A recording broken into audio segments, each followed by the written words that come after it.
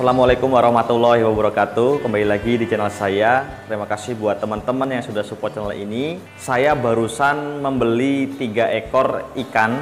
Ini ada Kamfo F2 sama Vilapan Yang barusan saya beli dari Pak Eko Haryanto. Dan yang satu lagi itu ada Cencu Kebetulan saya beli cencunya Mas Prayogo Yang beberapa waktu lalu sudah saya upload di video sebelumnya jadi cencunya ini sudah saya masukkan di akuarium sebelah sana. Jadi sudah saya taruh di akuarium 1 meter. Nanti kita lihat detailnya penampakannya seperti apa setelah saya bawa pulang. Nah ini kebetulan eh, belum saya buka, sengaja saya akan tunjukin ke teman-teman semua. Ini F2 eh, ukurannya sekitar 6 sampai 7 cm nih teman-teman bisa lihat. Ya, kalau nanti kurang jelas, nanti kita lihat di dalam akuarium. Yang satu lagi ini Camfo Vilapan. Jadi ini size-nya kurang lebih sekitar 3 cm teman-teman.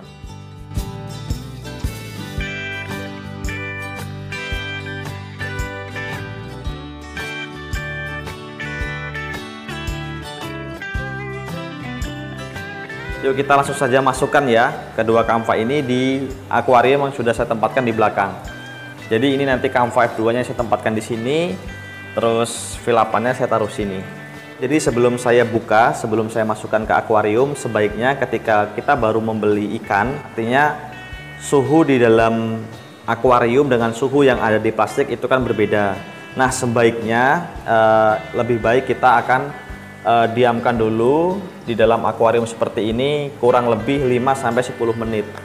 Tujuannya ini untuk uh, menyeimbangkan antara suhu yang ada di plastik dan suhu yang ada di akuarium agar ikan nantinya tidak begitu stres ketika kita buka di dalam akuarium.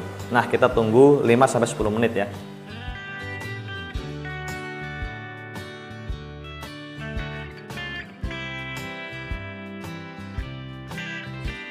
Oke bosku, ini kurang lebih sudah 5-10 menit ya. Sekarang kita saatnya buka. Nah nih teman-teman lihat lebih dekat penampakan F2 yang sudah saya beli Dari Pak Eko Haryanto. Nih Bang Mamen bisa zoom ya.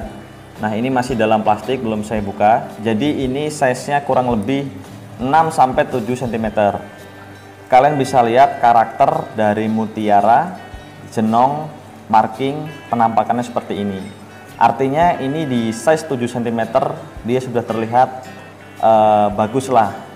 Di sini saya tinggal maksimalkan uh, baik mutiara, marna, jenong dan lain sebagainya. Yuk kita langsung saja lihat ya penampakan dari Camfo F2 yang saya beli. Oke. Kita buka bosku.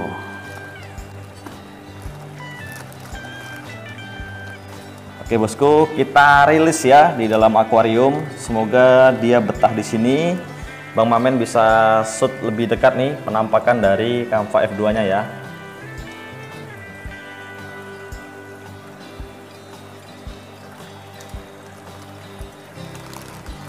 Oke teman-teman, jadi Kamfa F2-nya sudah saya rilis di dalam akuarium dan sini saya rasa dia tidak begitu stres ya karena jarak antara rumah saya dengan Pak Eko tidak begitu jauh.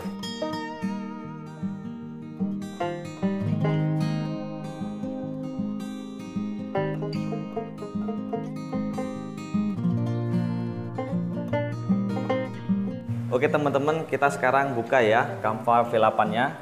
Bang Mamen bisa lihat lebih dekat ya penampakan uh, Canva V8 yang saya pilih ini. Oke, kita buka saja ya bosku.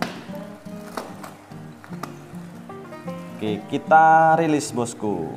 Penampakannya seperti apakah dia? Oke, itu ya. Nah, Bang Mamen bisa shooting lebih dekat tuh penampakannya. Oke, kurang lebih penampakannya seperti ini ya bosku. Teman-teman bisa lihat baik dari marking, baik dari mutiara, baik dari warna, dia sudah semburat lebih merah. Nah, artinya karakter Canva V8 yang saya pilih ini, eh, saya memilih karakter mutiara yang rintik kombinasi cacing dan kebetulan di Kamva V8 ini dia markingnya panjang sama dengan Kamva F2 yang saya pilih yang saya akan progres ini.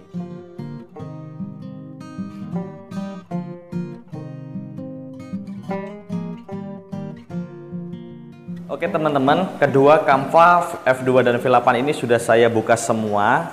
Jadi teman-teman bisa lihat uh, dia tampak lebih aktif ya. Biasanya pada ikan yang barusan kita pindah dari tempat sebelumnya atau kita barusan beli ikan, khususnya ikan lohan, uh, itu biasanya dia ketika kita bawa pulang dia akan mojok, akan takut dan dia akan adaptasi lebih lama. Dia akan Eh, istilahnya mentalnya akan down, tentunya dia akan menghitam dan lain sebagainya. Jadi uh, itu hal yang wajar yang terjadi pada ikan lohan ketika dia pindah ke tempat yang baru. Tetapi itu kembali lagi pada basic karakter uh, ikan yang masing-masing ya. Dan kebetulan di Kamva F2 dan V8 ini dia karakter mentalnya bagus. Jadi teman-teman bisa lihat dia tidak mojok, tidak sembunyi di belakang mesin Nah, jika teman-teman barusan membeli ikan lohan, terus kok dia mojok, dia sembunyi di balik mesin, teman-teman nggak usah khawatir, karena itu adalah proses adaptasi dari ikan tersebut menyesuaikan uh, kondisi tempat yang baru. Jadi uh, itu sedikit informasi dari saya.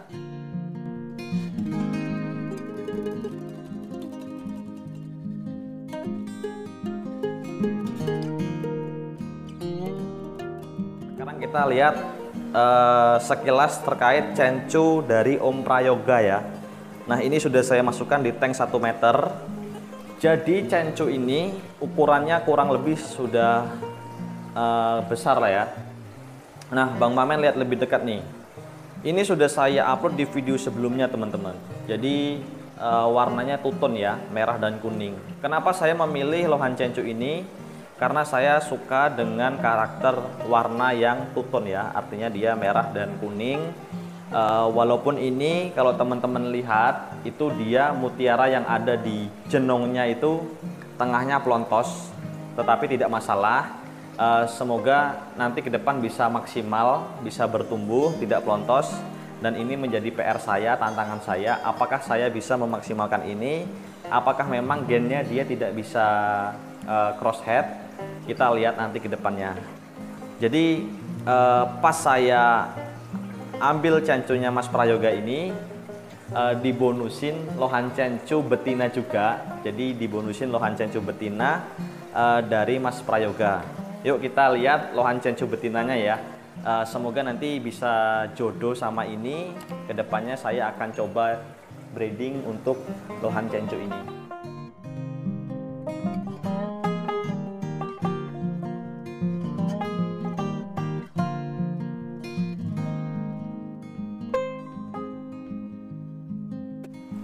Oke teman-teman, yuk kita lihat bonus dari lohan cencu yang saya beli dari Mas Prayoga. Nah ini dia bonus lohan cencunya, penampakannya seperti ini teman-teman. Uh, saya bilang ini cukup lumayan bagus ya.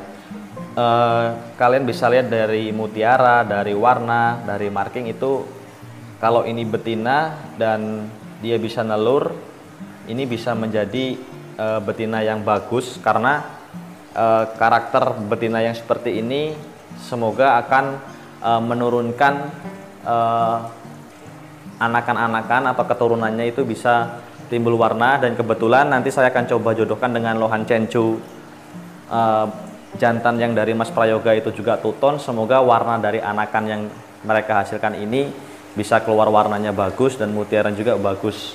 Karena kebetulan yang betina ini dia cross head Oke, jadi ada empat ekor yang baru. Eh, tambahan ikan lohan yang akan saya progres ke depan. Jadi eh, semoga ini bisa awet, bisa baik di sini, bisa lebih bagus dan tentunya support kalian, dukungan kalian bisa menjadi semangat saya untuk memprogres ikan-ikan ini. Oke bosku, saya kira itu kurang lebihnya saya mohon maaf, ambil yang baik dari apa yang saya sampaikan, yang tidak baik tidak perlu kalian ikuti. Jika kalian ada masukan, saran boleh isi di kolom komentar. Jika kalian suka dengan video ini, jangan lupa like-nya. Dan jika kalian anggap video ini bermanfaat, jangan lupa subscribe channel ini. Saya pamit undur diri. Assalamualaikum warahmatullahi wabarakatuh. Salam jenong dari Jogja. Bye-bye.